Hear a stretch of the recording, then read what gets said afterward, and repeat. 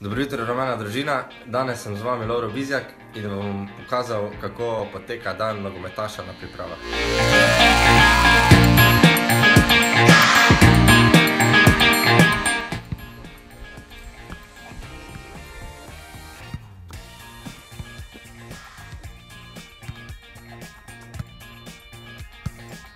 težkih trening naporov. Vidim, da Zara ni bil preveč naporen.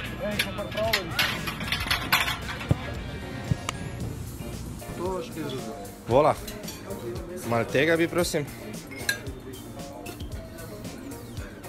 Lahko tudi malo zelenjave.